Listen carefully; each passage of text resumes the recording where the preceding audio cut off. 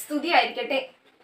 ലോകം ഇതുവരെ കണ്ടിട്ടുള്ളതിൽ വെച്ച് ഏറ്റവും വലിയ പ്രതിസന്ധിയിൽ കൂടിയാണ് നാം ഇപ്പോൾ കടന്നു പോകുന്നത്. അപ്രതീക്ഷിതമായ അനേകം വേദനകളും ബുദ്ധിമുട്ടുകളും അനുഭവിക്കേണ്ട ഒരു സാഹചര്യത്തിലാണ് നാം ഇപ്പോൾ. ശാന്തമായി ഒഴുകിയിരുന്ന പല ജീവിതങ്ങളും കോവിഡ് നയന്റീൻ എന്ന മഹാമാരിയിൽപ്പെട്ട് ചിന്നിച്ചിതറി ആശങ്കകളും അസ്വസ്ഥതകളും ഏറെ ഉണ്ടെങ്കിലും ഇതിനെ തരണം ചെയ്യുവാൻ നമ്മെ സഹായിക്കുന്ന ഒരു വിശുദ്ധനുണ്ട്. ആരെന്നറിയാമോ?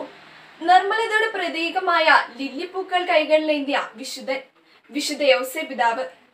ജീവിതത്തിലുണ്ടായിരുന്ന എല്ലാത്തിനെയും ദൈവഹിതമായി സ്വീകരിച്ച് ദൈവപിതാവിന് മുമ്പിൽ സ്വാർത്ഥനായി മാറിയ യോസേപ്പ് ഉപാധികളില്ലാതെയാണ് മറിയത്തെ സ്വീകരിച്ചത്.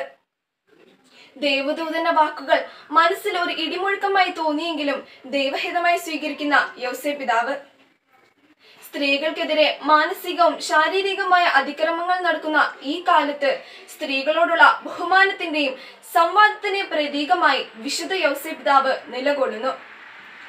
ജീവിതത്തിൽ കടന്നു വന്ന തിക്ത അനുഭവങ്ങളിൽ നിന്ന് പിന്മാറിയ വ്യക്തിത്വമല്ല ജോസഫിന്റേത്. മറിച്ച് ധൈര്യത്തോടെ പതറാതെ മുന്നോട്ട് നടന്നവനാണ് നമ്മുടെ പുണ്യാത്മാവ്.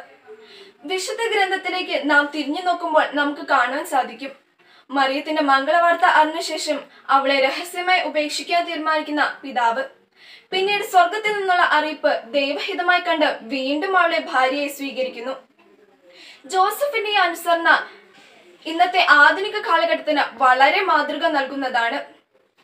സ്നേഹമുള്ളവരെ ഒരു തച്ചം വരപരത്ത മരക്കഷ്ണത്തിൽ നിന്ന് ഒരു മനോഹര ശില്പം തീർക്കുന്നത് പോലെ യോസെ പിതാവ് പരുക്കൻ സാഹചര്യങ്ങളോട് ക്ഷമയോടെ പടപൊരുതിയാണ് തിരുക്കുടുംബത്തെ വളർത്തിയത്.